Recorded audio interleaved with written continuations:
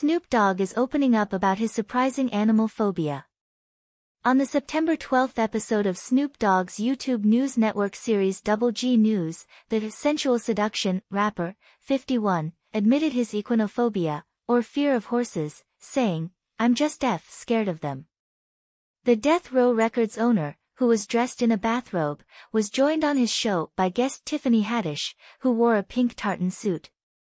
During their discussion, the night school star talked about her childhood dream of raising horses on a farm, to which he replied, I'm scared of horses.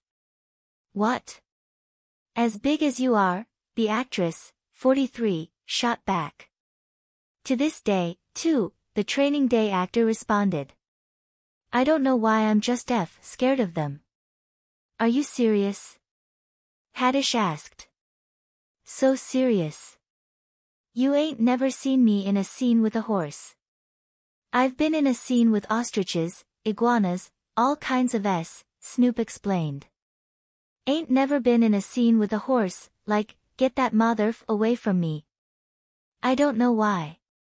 Snoop, whose real name is Calvin Cordozar Broadus Jr., revealed to Haddish that while his wife Shante Broadus kept a horse for three years that she enjoyed riding, for her peace of mind, he refused to interact with the animal and preferred to keep his distance. We used to leave food out.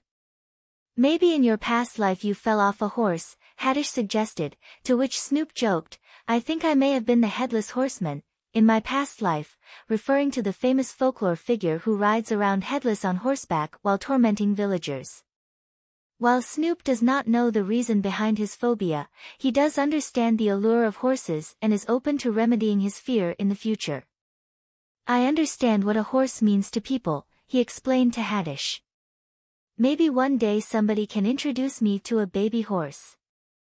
A little jackass or something that I can learn how to be around.